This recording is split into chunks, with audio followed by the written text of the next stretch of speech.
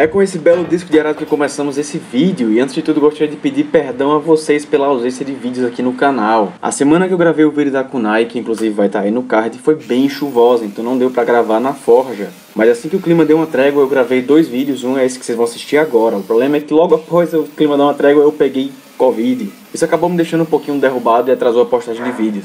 Mas não foi nada sério, eu já tô melhor, graças a Deus. Então chega de falação e vamos fazer essa machadinha. Esse projeto vai ser um pouquinho diferente dos meus projetos normais, geralmente eu tento focar muito na parte do forjamento, e esse aqui não vai ter tanto forjamento assim.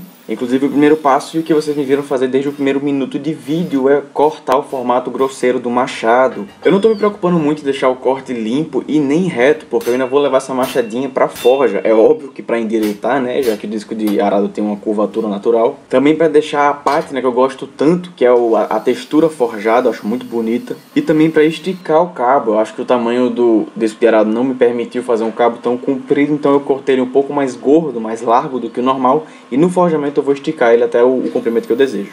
Uma coisa que vocês me viram fazer aí, provavelmente vão ver várias vezes, é eu apagando o desenho e redesenhando o machado. Isso é porque eu geralmente não desenho meus projetos antes e vou simplesmente fazendo e vendo aonde o aço quer ir. É por isso que volta e meia eu estou usando escova de aço para limpar a ferrugem e o desenho com giz para redesenhar o, o formato da lâmina do machado.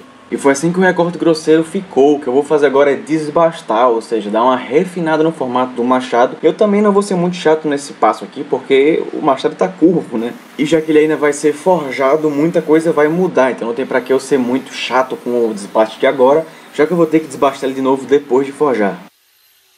E assim que o nosso machado está ficando, como vocês podem ver, eu não cheguei até as linhas originais do desenho, isso porque eu quero deixar a maioria do desbaste para depois do forjamento, que inclusive é o próximo passo. Então pega o nosso machado com o tenai e joga na forja e vamos forjar.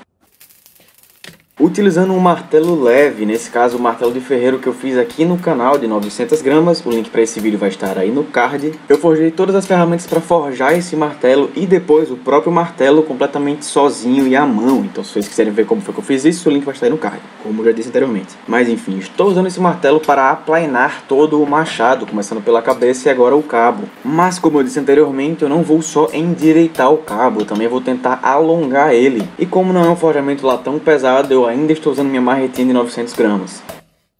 E aqui não tem segredo, rapaziada. Você pode usar a borda da bigorna para te auxiliar a esticar o cabo, mas é só ir marretando ele, depois virando e corrigindo a espessura, e depois vendo se está reto também. Repetir isso até o cabo estar tá no comprimento e na largura que você goste. E agora utilizando minha bigorninha caseira de 55 quilos que eu fiz usando o extintor incêndio e sucata aqui no canal, o link vai estar aí no card. Eu vou cunhar a minha logo no machado, logo essa que eu também fiz aqui no canal, o link também vai estar no card. Com a minha logo já cunhada, só falta endireitar esse machado, para isso eu estou usando a minha marreta de aplainar. E eu ainda vou ensinar a fazer essa ferramenta aqui no canal, uma melhor, já que essa aí é só uma gambiarra, né? Mas com o machado cortado, usinado e forjado, vamos para o tratamento térmico. O primeiro passo vai ser a normalização, que é basicamente esquenta e deixa esfriar devagarzinho. Eu fiz isso três vezes. E agora vamos para a têmpera que será feita em óleo diesel. O único cuidado que eu quero que vocês tomem aqui é em que recipiente vocês vão botar o óleo. Eu utilizei uma panela de ferro fundido, mas qualquer recipiente de metal funcionaria, acredito eu. Não use recipientes de plástico, porque muitas vezes durante a têmpera o óleo pega fogo e isso pode estragar o seu recipiente de plástico e jogar óleo em tudo que é canto. Mas enfim, depois da têmpera eu vou utilizar o calor residual no corpo do machado para fazer logo o revenimento. Para isso eu estava usando um rebolo de esmeril para riscar o fio da lâmina e estava enxergando as cores do revenimento irem avançando até a bordinha do fio. Essa técnica se chama Draw Tempering, eu vou fazer uma tradução livre aqui e vou chamar de revenimento de arraste. E com a machadinha forrajada e temperada, vamos para a usinagem final. Mas como de costume, antes de ir para a lixadeira, eu vou usar uma escova de aço para retirar a carepa, isso me ajuda a economizar lixa.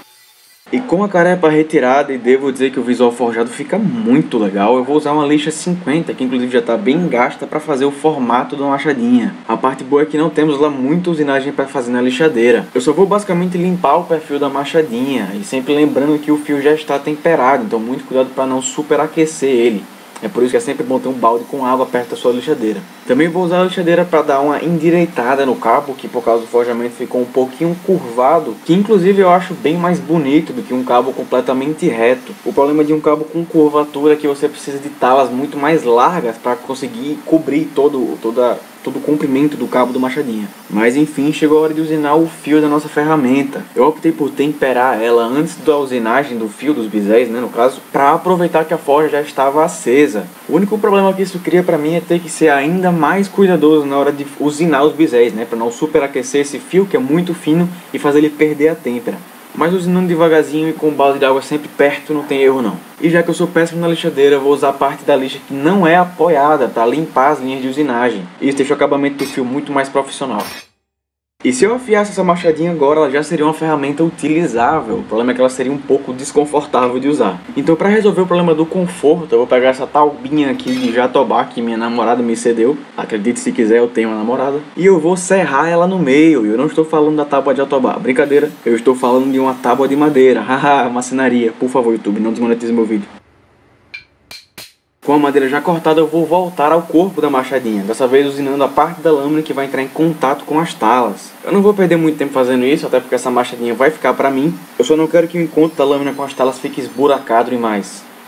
E o próximo passo é fazer os furos que vão unir a lâmina às talas. Eu não pretendo colar com a cola muito forte porque eu quero testar o uso de rebites. E eu não vou usar rebites comerciais, eu quero fazer os rebites que vão prender todo o conjunto da lâmina utilizando fio, fio de cobre mesmo. Eu encontrei um pedaço aqui de fio de cobre bem grosso aqui em casa, de 3mm e tanto, e eu quero tentar simplesmente passar ele como se fosse um pino e remanchar os cantos para prender tudo no local sem usar uma cola. Mas eu estou colocando o carro na frente dos bois, o primeiro passo vai ser furar tanto a lâmina quanto o cabo, mais óbvio começando pela lâmina. Eu fiz a marcação de onde os furos deveriam ser a olho mesmo, onde eu achei que ia ficar mais legal, e depois marquei com a punção de centro.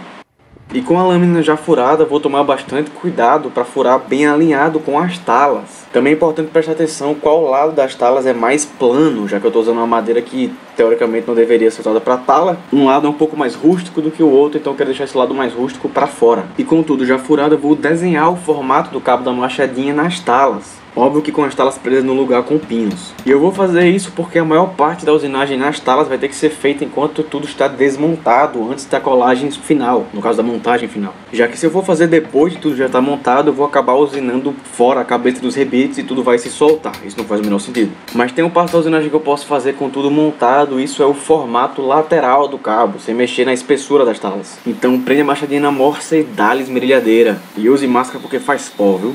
Com o formato grosseiro do cabo da machadinha já feito, eu vou desmontar tudo, porque como eu já disse, eu não posso mexer na espessura das talas com ela montada. E com bastante cuidado para não retirar material demais, eu vou com a esmerilhadeira e um disco de lixa afinar cada uma das talas individualmente. Esse processo é um pouco chato, até porque é difícil prender as talas na morsa. E também é chato porque você tem que ir muito devagar, para que você não afine as talas demais e garante que as duas estão ficando com a espessura uniforme. Mas se você for devagarzinho, sempre comparando as duas metades, você vai conseguir um resultado legal no fim das contas. Uma dica importante é sempre antes da colagem, ou nesse caso montagem final, use na essa parte aí que eu estou mexendo no cabo, já que depois que você afixar essas talas na lâmina, vai ser praticamente impossível acessar esse cantinho aí sem arranhar a sua lâmina. E agora vamos para a montagem final. Vocês podem ver aí que eu cortei uns pedaços bem compridos do fio de cobre, já que eu quero ter bastante espaço para errar. E eu estou usando um pouquinho de super cola para manter tudo bem preso no lugar, mas eu não acho que vai fazer diferença nenhuma, para ser sincero. Então cada coisa no seu devido lugar e vamos deixar tudo muito bem apertado. Para isso eu vou usar a minha moça como se fosse uma prensa. E antes de rebitar, obviamente eu vou ter que dar uma parada no comprimento dos rebites, né? E aprendam com meus erros, eles deveriam ter ficado um pouco mais longos e com um pouco eu quero dizer, tipo assim, bastante mais longos.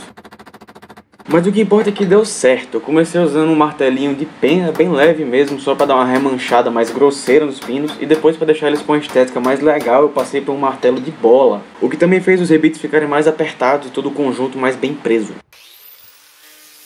E com tudo já bem preso, chegou a hora de deixar o cabo da machadinha mais confortável o que não deve dar lá muito trabalho, considerando que a maioria do desbaste a gente já fez antes de prender tudo no lugar. Então segura a machadinha na mão, vê se a pegada tá legal. Se não tiver, dá mais uma arredondada e faz isso até a pegada estar confortável o suficiente para você. Nesse caso já tava para mim. Com o problema do conforto já resolvido, só falta amolar nossa machadinha para que ela seja uma ferramenta de fato utilizável. Então, para começar a afiação, inclusive eu não sei a diferença entre amolar e afiar, se alguém souber deixe nos comentários. Eu vou usar uma lixa grão 120, é uma rotação bem baixa na minha lixadeira para que não arrisque queimar o aço, ou seja, estragar a têmpera do fio. Depois da lixa 120 eu iria para pedra, mas por algum motivo eu editei de modo a colocar o lixamento manual do cabo antes. Então vamos lixar o cabo, né? Eu tenho que desenvolver umas técnicas mais eficientes para lixar o cabo.